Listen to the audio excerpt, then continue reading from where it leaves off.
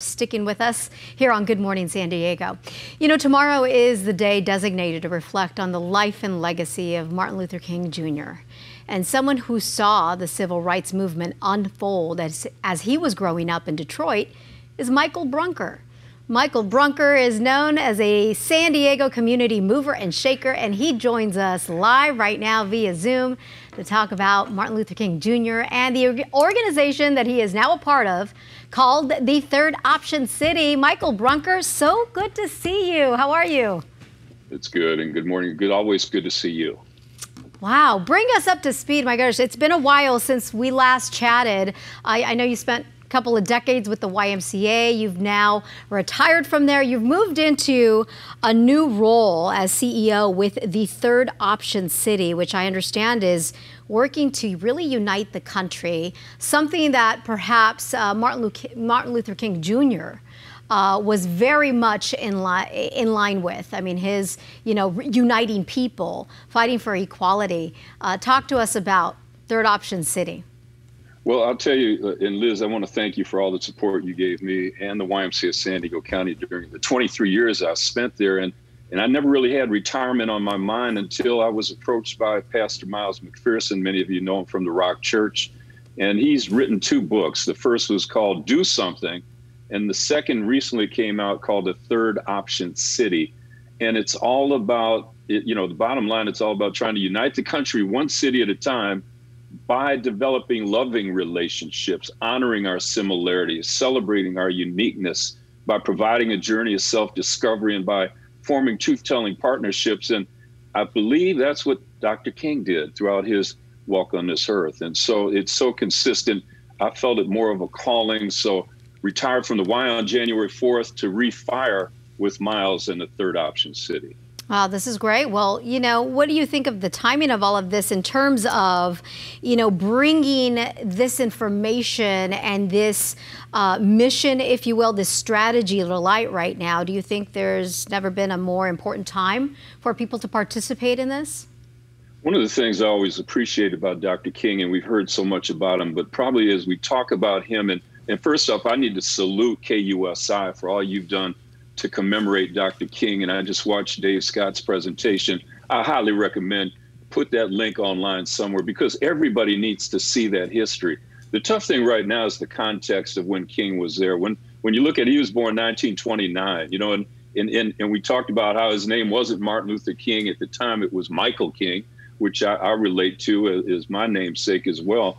But all the things that he did, I wasn't born until 52. And at that time, he was 23 years old. I was mm-hmm. 15 years old when he was assassinated in 1968. That came the the spring after the summer prior in Detroit, where we had one of the worst riots in the history of this country.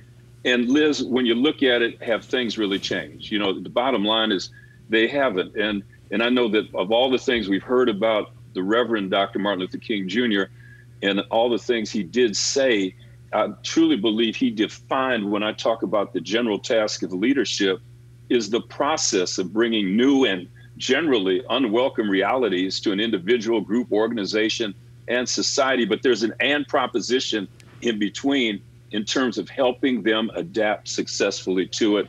These tough times call for all of us to serve downstream in support of the kids and families of this country's most critical communities. And that's what King did with everything he did with his head, his heart, his hands, and his habits to serve others before self. And that's, you know, he truly spent his having doing good on earth. And now, the time now is to fall in love with those similarities that define our humanity as we're so divided and we see that every day. Yeah, and you know, we continue to be divided on, on many different levels, as, as you know more than I do, not just culturally, but politically. I mean, and the list goes on and on. Where do people begin? How do people begin? You and I begin to fall in love with these similarities, right? That you say define our humanity. Where do we start? It, and it's not simple. I, I think the first thing is to understand is if we're truly going to make an impact and if you really look at the life and legacy of, of, Reverend Dr. Martin Luther King Jr., he got to the table with the leaders. You know, he had conversations with them in a way that it's not a, you know, I win, you lose paradigm. And that's what the third option city strategy is all about. I know Miles will be on tomorrow morning, but mm-hmm. the bottom line is that it's how can we bring people together to talk how it's not us against them, but how we can have a win-win proposition and make that happen in spite of the madness that's gone on all around us right now. As I looked at what unfolded in Washington D.C. last week, and here I'm stepping into this new position as CEO of the Third Option City, you know, we have to deal with those folks too. You know, we have to find a way to talk to them and address their issues and concerns and bring everybody together as we move forward. Otherwise, King also said, if we don't learn to live together as brothers, we will perish together as fools. And and so uh, he said a lot of things that were real important. A lot of people question, you know, at the time when he was leading the movement, you know, about his peaceful strategy, but he truly believed that we have before us a glorious opportunity to inject a new dimension of love into the veins of our civilization and the end is reconciliation, the end is redemption, the end is the creation of the beloved community. And you do that by working through understanding that we mm-hmm. all share many things in common. Yeah, and I think by and large, most people want that.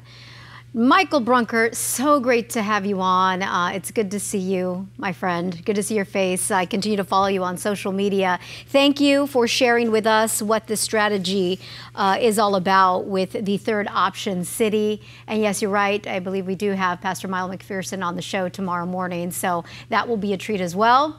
And take care. We will talk soon.